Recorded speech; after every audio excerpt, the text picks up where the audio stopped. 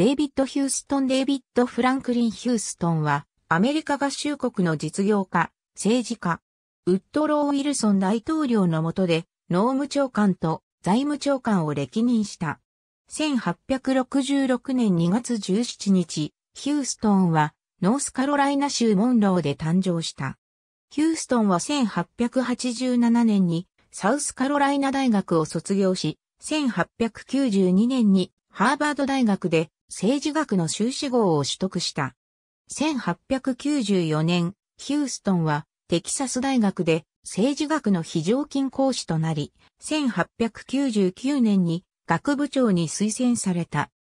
その後ヒューストンは1902年から1905年までテキサス農業工業大学の学長を務め、1905年から1908年まではテキサス大学の学長を務めた。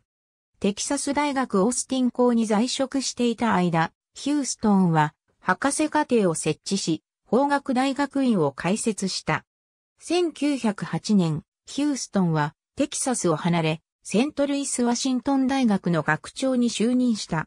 そして1913年、ウッドロー・ウィルソン大統領から農務長官に指名されたことを機に学長を辞任した。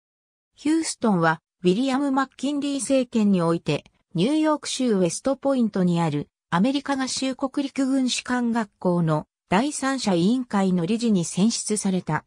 晩年にはハーバード大学とコロンビア大学で大学評議会の委員を務めた。財務長官時代のヒューストン1913年、ヒューストンはウッドロー・ウィルソン大統領により農務長官に任命された。ヒューストンは1920年に財務長官に転任し、ウィルソン大統領の任期満了となる1921年まで内閣の一員として大統領を支援した。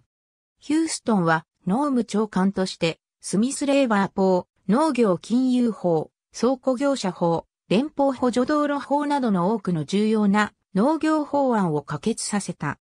第一次世界大戦終戦後、ヒューストンは連邦政府の金融政策をめぐる激しい論争で注目を集めたことから財務長官に指名された。